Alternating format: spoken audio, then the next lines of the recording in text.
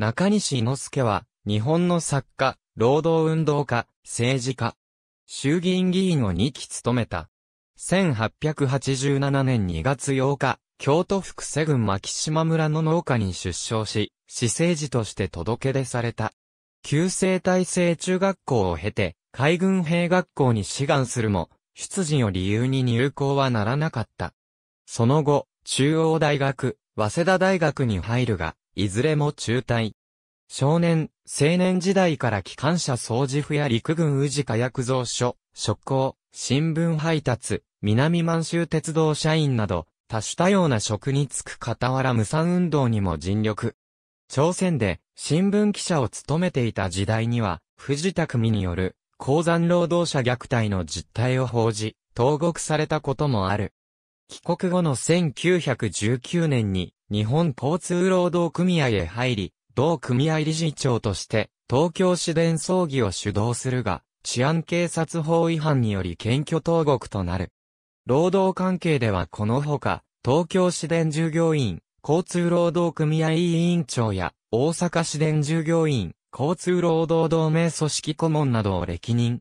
1922年2月、新聞記者時代に投獄された際の体験を綴った小説、シャドに恵むものを改造者より上司し、分断デビューも果たす。以後も精力的に鉛筆を振るい、プロレタリア作家としての地位も確立。種まき9人の同人でもあった。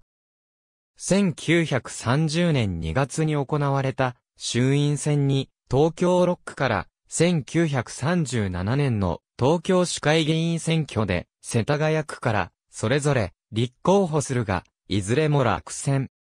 市会議員選落選の翌年12月には、労農派第一次人民戦線事件で検挙され、約2年間の留置場生活を余儀なくされる。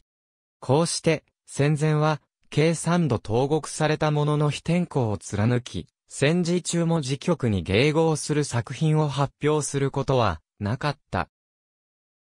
終戦後の1945年に人民文化同盟を結成、同年12月には機関紙人民戦線を発行し、人民政府樹立への機運を高めることとなる。その一方で、日本共産党に入党し、神奈川県藤沢市、片瀬の自宅で、同年10月30日、政府の苛烈な弾圧を受け壊滅状態にあった、道家委員会の再建を果たす。戦後初の1946年に行われた第22回衆議院議員総選挙にて、神奈川県から日本共産党公認で出馬するも落選するが、同選挙区から公職追放者が出たことに伴い、繰り上げ当選となる。衆議院議員として日本国憲法制定には反対票を投じた。しかし、翌1947年の衆院選では落選。1949年の衆院選で、神奈川3区から当選したが、諸位、50年問題により、党内が国際派、諸官派両派に分かれる中、武装闘争路線に抗議し、1952年6月、脱党。翌1953年の参院選に、全国区から無所属で出馬するが当選には至らなかった。六全教を経て、党内の混乱が収束した1958年に共産党へ復党するが、同年9月1日、心筋梗塞のため、神奈川県鎌倉市内の市民診療所で死去。71歳。海軍兵学校入学目指し、津島から東京へ、中西猪介と津島、ハット ABCD プロレタリア作家、中西猪介とは？新聞赤旗2007年9月19日、加藤勘十や鈴木モザブローらを中心に、反ファシズム統一戦線確立を目指して1936年に結成された左派団体。略称は老教。